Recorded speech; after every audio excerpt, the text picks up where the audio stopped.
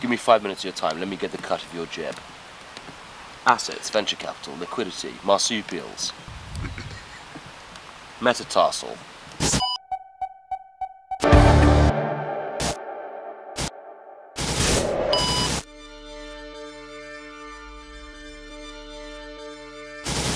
I was surrounded with music from a young age. My brother used to make me mix cassettes, and then my mum was always playing like blues in the house and stuff. So it's always been part of the kind of um, the oxygen, as it were. But like, yeah, P- Pixies and Nirvana were the ones where it was like, right, I'm going to dye my hair blue. I'm going to, you know, make holes in my jeans, pick up a guitar, and then like really become um, a pain in the ass.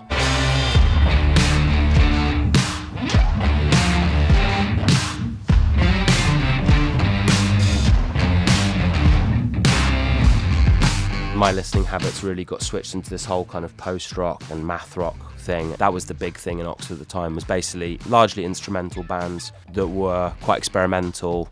You know, no one was like trying to get into the NME or go go to London. What was cool in Oxford was kind of uncool in a way, and it was exciting to be surrounded by by that because it was freeing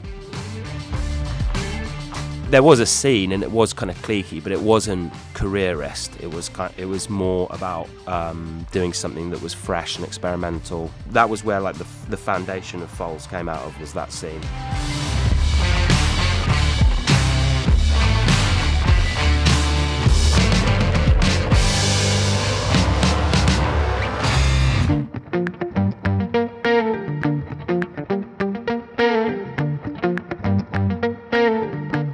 I was um, actually trying to do a remix for Oumou Sangaré, brilliant like Malian musician, and the remix didn't go anywhere. But I wrote this riff for the remix that then I kind of stripped out.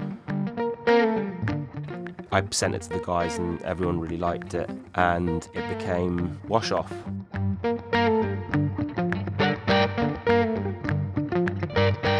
I'll have this kind of private conversation in a way with the guitar and with myself into the loop pedal. And then something beautiful happens. There is a kind of alchemy through the different characters and personalities and tastes within the band stretch and morph. The idea that was the product of one mind becomes a collaborative process.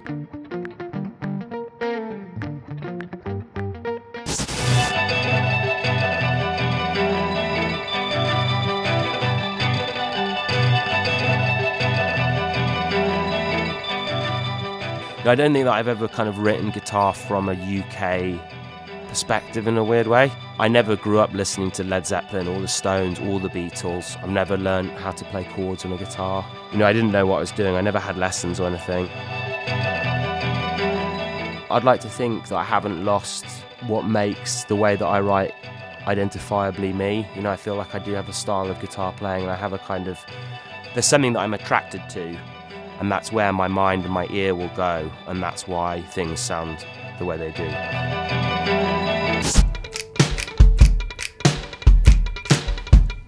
I thought just it'd be fun to kind of play just a snippet of one of the songs that wasn't finished on Holy Fire. I don't know, we went off it for some reason, and like we often go in with more ideas than we can possibly pursue to the end.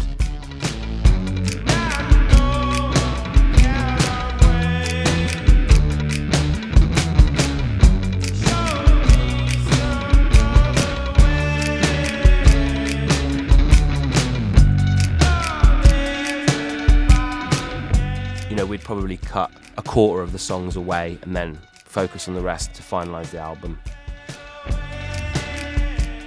That idea was something that informed Everything Not Saved is that we didn't we wanted to take every song to the finish line and have enough time to really explore like every corner and aspect of each song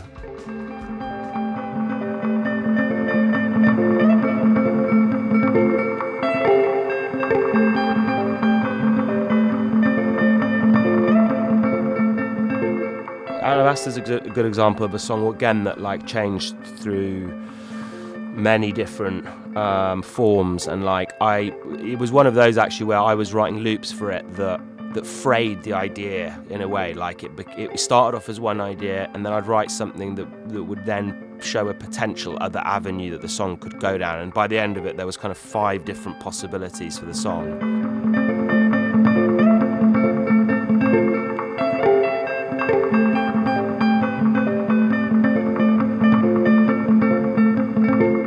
And this might be one of those where there is some kind of bittersweet feeling about what it could have been.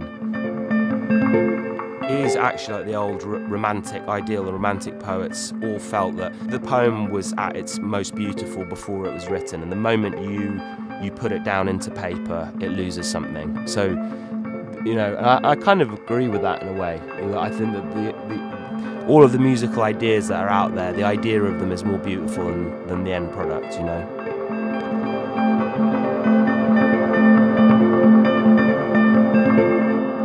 That's the job of the musician is to try and wrestle between the imagined beauty and the one that then comes out of the speakers.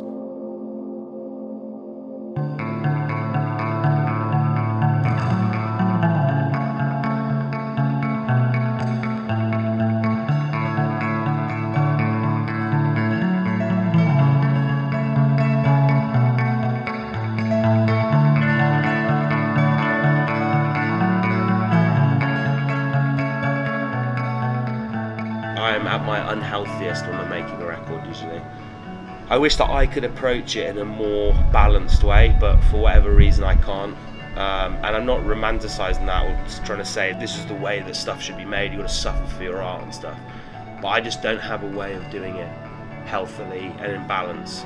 You prioritize the creative process and the music and making it great. It, it, it's, it's a priority above your own well-being for that period of time.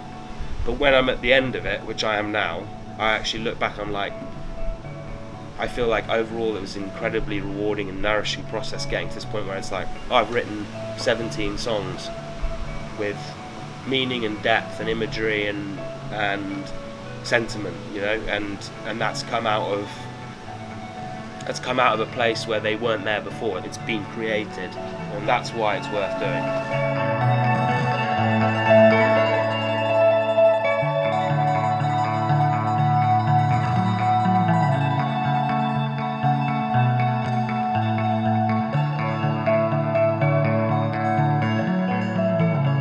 I think there is probably a parallel reality where, like, I'm not making music, but I am doing something creative. I'd be writing or I'd be making art, or um, I just feel a need to express myself. And maybe it's a type of therapy, or maybe it's an addiction.